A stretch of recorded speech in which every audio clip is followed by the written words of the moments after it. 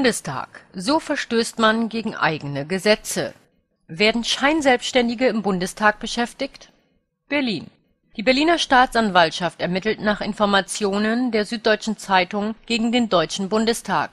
Es sollen von Seiten der Abgeordneten jahrelang keine Sozialversicherungsbeiträge gezahlt und Mitarbeiter als Scheinselbstständige beschäftigt worden sein.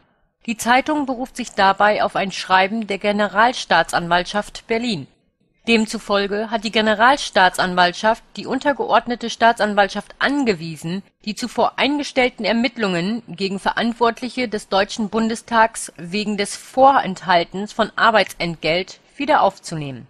Die Deutsche Rentenversicherung (DRV), deren Betriebsprüfer alle Unternehmen kontrollieren, ist davon überzeugt, dass bei 40 Honorarkräften dieser Strafbestand vorliegt die sogenannten Honorarkräfte sind nicht nur bei Messen in der mobilen Öffentlichkeitsarbeit tätig, sondern informieren auch über die Arbeit des Parlaments, führen Besucher durch den Reichstag oder halten Vorträge über die Arbeit der Abgeordneten.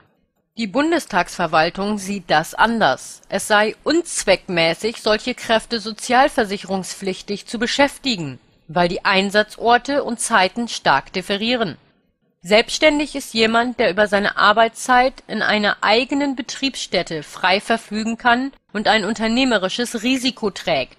Als Arbeitnehmer, für den der Arbeitgeber Sozialabgaben zahlen muss, gilt dagegen jeder, der für einen Betrieb arbeitet und dort dem Weisungsrecht von Vorgesetzten unterliegt sowie Art, Dauer und Ort seiner Tätigkeit nicht frei bestimmen kann bei dem Streit geht es aber nicht nur um Sozialabgaben, sondern auch darum, ob die Honorarkräfte die Mehrwertsteuer ans Finanzamt nachzahlen müssen.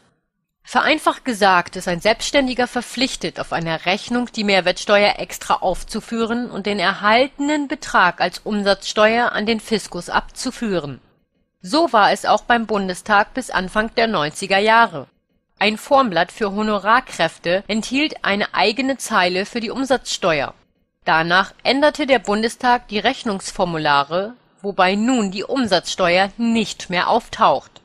In einem Rahmenvertrag wurden die Mitglieder lediglich darauf hingewiesen, dass sie für alle steuerlichen Angelegenheiten selbst verantwortlich seien.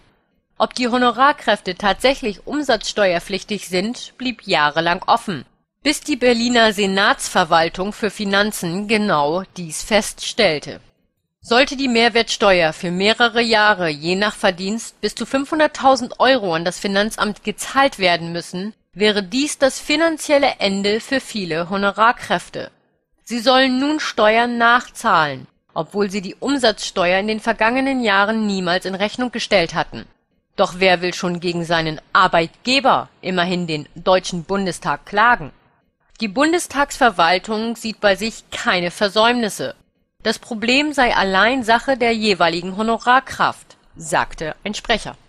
Inzwischen hat die Bundestagsverwaltung in der Öffentlichkeitsarbeit und im Besucherdienst einiges umorganisiert, um dem Vorwurf zur Beschäftigung von Scheinselbstständigen zu entgehen.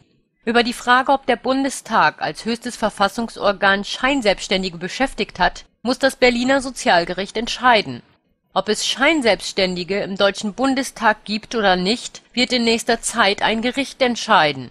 Ob es aber überhaupt selbstständige, entscheidende Angehörige des Deutschen Bundestages gibt, kann heute schon jeder selbst entscheiden